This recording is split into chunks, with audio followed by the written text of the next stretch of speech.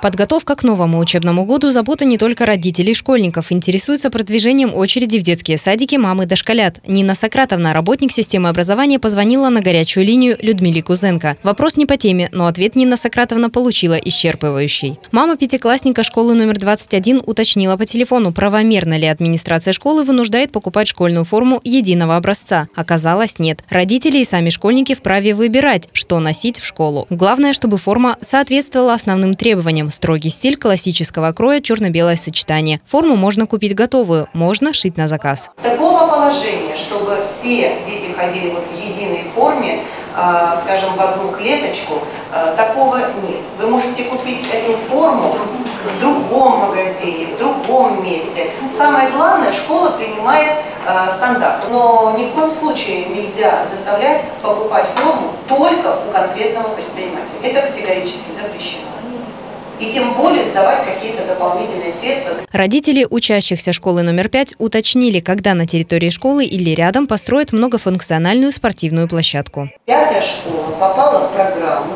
и проведен капитальный ремонт спортивного зала. Я была вот там в пятницу буквально смотрела, хороший ремонт. В один год невозможно делать и одно, и другое. Пошли вот по этому пути. Создали условия для занятий спортом детей непосредственно в спортивном зале. В этом году всем ученикам общеобразовательных школ выдадут учебники по основным предметам. Учебники и рабочие тетради по предметам одного часа для уроков ОБЖ, музыки, изотрудов и физкультуры выдавать не будут. Житель Цыбанабалки Юрий Алексеевич позвонил на горячую линию с вопросом, касающимся безопасности детей в новом учебном году. Старые тополя на территории школы давно пора обрезать. Заявку мужчины приняли и передали в управление ЖКХ. Наталья Пухальская, Антон Чистяков, Анапа регион.